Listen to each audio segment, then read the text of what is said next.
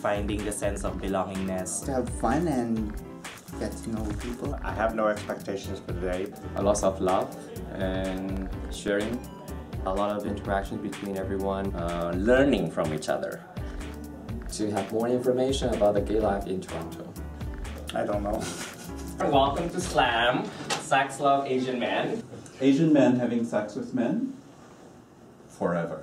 Each table as a group can draw on, draw on him what they think you could look like. Rice field? Yeah. It is. we like to use a lot of sex apps, I guess. Yeah, like Grindr. And you have the jock strap and uh, harness. If you're not someone that fits particular standards of attractiveness, then these apps are isolating. It's amazing. It's going great. It's going beyond my expectations. There's still some issues we have to talk about, like cultural background or um, conservative beliefs or internalized homophobia. All right, what is a background? Right, so what are you gonna do to make it more fun? Or Uh, threesome. is it is it The whole notion of relationship is defined by the individuals. We don't have a script. We're creating, as what we're doing with you, we're creating our own script, and that's what makes it exciting and scary at the same time. So, is it rude or inappropriate to ask anyone you meet before sex about their status? I think those questions are very important for everybody, uh, not only the Asian gay people. Um, I, I'm glad like people are actually uh, knowledgeable about like HIV and other STIs. no, I won't have sex with you because you're HIV positive. To me, that kind of sounds like, no, I won't have sex with you because you're Asian.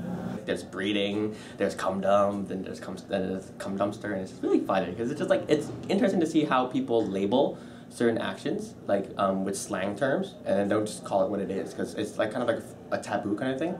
The discussions are fun, very sexual, and it makes it exciting. Does it hurt? Most people say it doesn't, and if you do, it's very quick. It's like a, a mosquito bite. Did it hurt? What? One blue dot being negative, um, uh, and a secondary dot if he's positive. Meaning of life as a queer Asian man. We are actually in many ways different, right? We have class, we have sexuality, we have culture, we have all those things. And just to acknowledge that that difference is there allows you to build capacity. It was wonderful.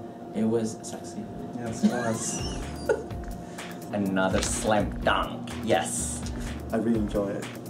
The guys here are very cute. There's a good community feeling that you know everyone was involved. It's actually better than I expected. I do like getting slammed.